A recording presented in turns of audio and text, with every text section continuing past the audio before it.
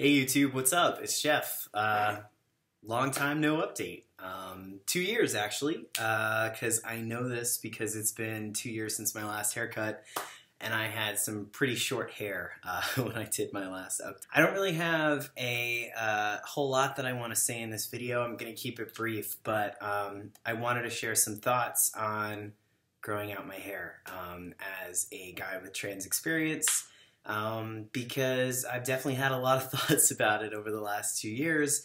And what triggered this is tomorrow I'm actually going to the barber to chop it all off. So I thought, while I'm really thinking about it, uh, let me just document it and pop in and say hey real fast. So, um, so yeah, as I said, it's been two years since my last haircut. Um, I can tell you I never wear my hair down. Uh, I just put it down now so uh, you can all appreciate just how long it's gotten. Um, but typically I, I wear it back in a bun. um, this is going to be the fourth time that I've donated my hair in my entire life, uh, but it's the first time that I've done it since I transitioned. Um, I started growing out my hair because my girlfriend has always liked my hair. Um, long, short, doesn't matter, but especially long. So uh, she suggested that I grow it out again, and I figured I'd give it a shot um, because I had been rocking buzz cuts or undercuts or whatever um, for like six years uh, since even before I came out, I had shorter hair. So I said, yeah, you know, why not? Let's give it a shot. Um, and pretty surprisingly or unexpectedly to me, um, I quickly started experiencing some pretty severe dysphoria about it. Um, it was definitely the first time in years that I felt that dysphoric about my appearance. Um, and what I started to realize is it's because hair was something that I never had control over when I was younger. And it was the one thing about my appearance that I always wanted to make more masculine and just wasn't allowed to.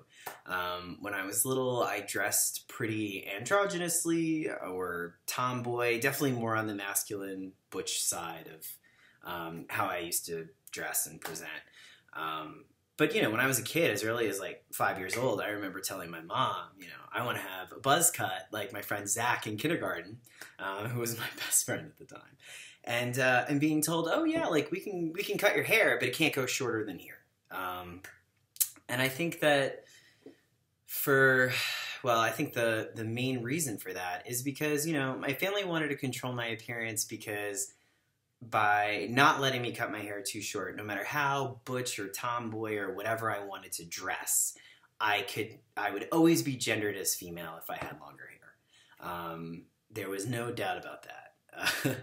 and I think that you know my, my parents they're they're great now it's apples and oranges, but when I was little, gender variance, gender deviance, they weren't even 100% cool with me being a tomboy and how I dressed. So, um, you know, being forced into the occasional dresses was one thing, but my hair had to stay long, um, which sucked. And it made me feel like I didn't have agency over uh, my appearance. And I, like I said, I can remember this as young as like five years old. But yeah, and then when I was in high school, uh, I kept my hair long. Um, in part because you know I was still living at home with my parents, but um, there was a time in my life where I really wanted to try giving you know being femme the old college try. I really wanted to. Um, I don't know. At that point, I didn't have the words for what it meant to be trans.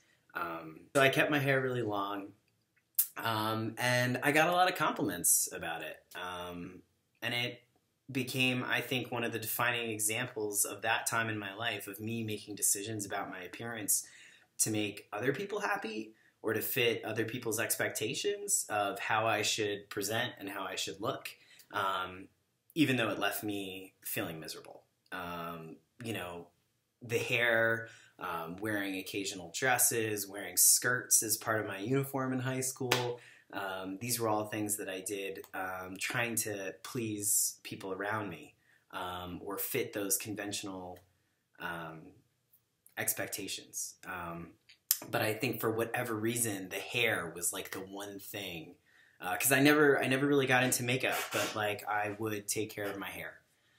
So it became like the symbol of that girly period in my life, or it's not even girly. It was this period of like trying to put on a work uniform of being a girl, um, and that's what I saw my hair as. But yeah, but so now fast forward to now, right? I'm growing my hair out. I've got a full beard. I have passing privilege. And um, I felt all of those feelings coming back like pretty rapidly. Um, like I was trapped. Like if I wore my hair down, I'd be read as a girl. I'd be harassed. Um, you know, I, I had a couple of experiences recently where people saw me from like the back or the side, and I had my hair pulled up in a bun, and they accidentally, you know, said miss or something like that. Um, you know, such an innocent mistake. It and yet it was. it just made me sort of internally spiral and internally die a little bit because um, that's what dysphoria does, right? I mean, it's not rational. I know that the minute I turned around and they saw my face and they corrected themselves immediately, they weren't even embarrassed because they said, "Oh no, clearly you're a guy."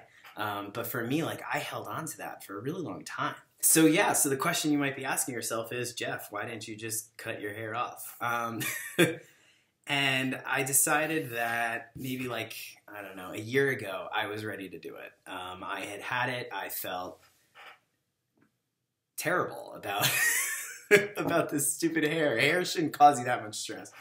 I I said, you know what? I've already made it a year, and I really want to turn all of this stress and this uh, stupidity that I'm laughing about um, with dysphoria uh, into something positive.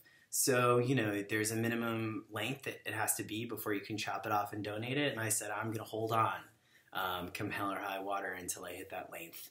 And that way I could look at it as my way of reclaiming, like reclaiming ownership over my appearance and channeling something that really stressed me out into something really positive. So, tomorrow I'm chopping it all off. Uh, and I'm donating it to a small nonprofit called Hair We Share. Um, they came highly recommended to me, and they'll turn my hair into a wig for either a woman or a child who's currently living with cancer. Um, so yeah, I'm pretty pumped about that. Um, I'm excited to have short hair again. I'm happy that I went through the experience because it reminded me of all everything that I went through before I had consistent passing privilege. Um, and I feel really helped me connect with the other trans people that I know in my life or, or know of in my life. Um, you know, friends and acquaintances who don't have passing privilege or don't want it, um, but still deal with dysphoria and, the, and these similar feelings. And again, like, I, there's still a part of me that feels like it's just hair. What's the big deal? But um, that's what dysphoria does. But uh, so would I grow it out again? I don't know. I, I don't like to say never, you know, never say never, but uh, definitely not for a while. I'm looking forward to having short hair again and just feeling more comfortable um, in general. Anyway, so that's the story. That's my ridiculously long hair right now.